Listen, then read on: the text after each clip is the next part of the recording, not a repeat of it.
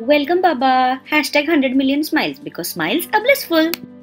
Hey guys, welcome back to my channel hashtag 100 million smiles and today we are gonna talk a lot about our mind so yeah let's get started with the video. Okay, if someone comes up to me and asks me what is my view about mind the first thing that will come up in my head is conscious and unconscious mind. So yeah today we are gonna talk a lot about unconscious mind but before that I'm gonna explain you in short what is conscious mind. So conscious mind specially works with logic. Also, I call it the master of the brain. It also helps you to communicate with the outer world. On the other hand, if I talk about unconscious mind, it gets into my nerves because I hate my unconscious mind.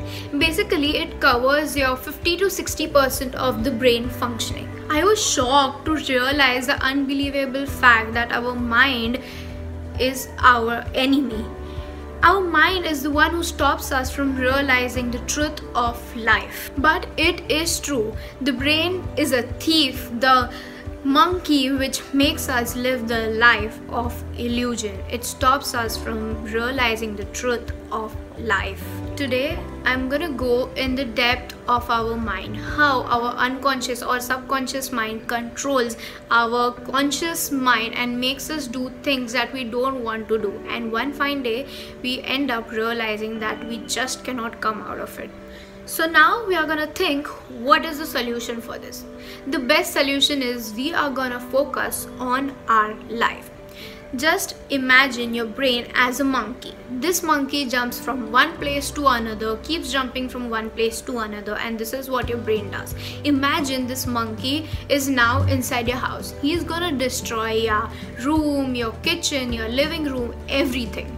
Your brain is just like that monkey. He is gonna go from one place to another and destroy you and your life. So you need to control that monkey right now if you don't control your mind your mind is gonna push you so down so much down that you can never never get back in your life even if you want to you can never get back in your life so to stop this monkey that is your brain the only thing best thing you can do is have a reason or a desire to do something. When you have a desire to do something or a reason to live, your brain is gonna use all its power, that is, your mind is gonna use all its power in one direction, that is, the direction of your life. Now you know that monkey is wild.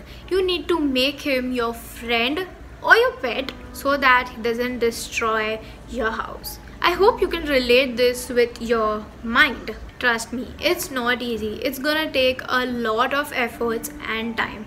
But if anybody of you wants to stay happy in your life, you need to realize that this mind is a monkey or rascal and you need to take care of that monkey. He is one stupid monkey.